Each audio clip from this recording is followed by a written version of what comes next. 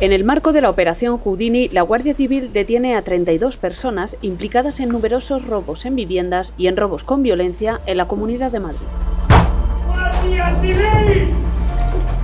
En Tres Cantos se ha logrado la detención de los cuatro componentes de un grupo especializado en el robo en viviendas en zonas aisladas que perpetraban cuando sus moradores habían salido.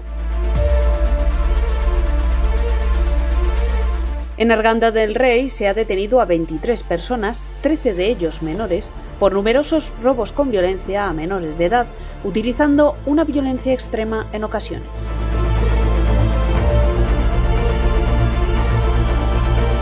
Y en La Cabrera, la Guardia Civil ha detenido a cinco personas que habían ocupado una vivienda donde ocultaban los efectos que robaban.